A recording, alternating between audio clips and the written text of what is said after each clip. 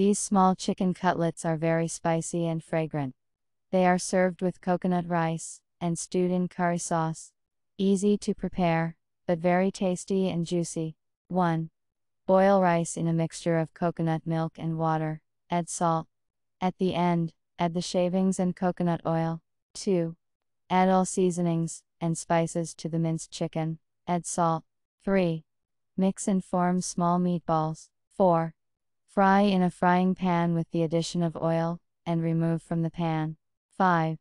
Cut the carrots into strips. 6. Fry in the oil in which the meatballs were fried. 7. Add curry paste. 8.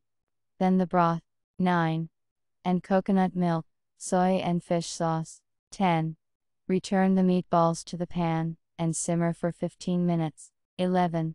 Add the beans, and simmer for another 10 minutes. 12. Serve with coconut rice. Enjoy your meal.